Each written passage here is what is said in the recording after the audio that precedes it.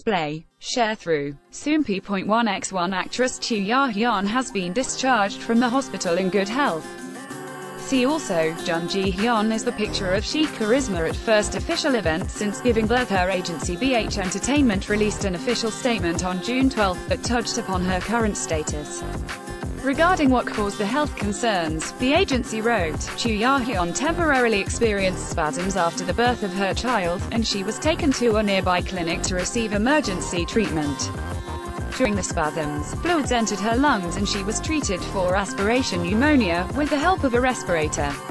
Soompi. Display. News. English .300x250, BTF Soompi.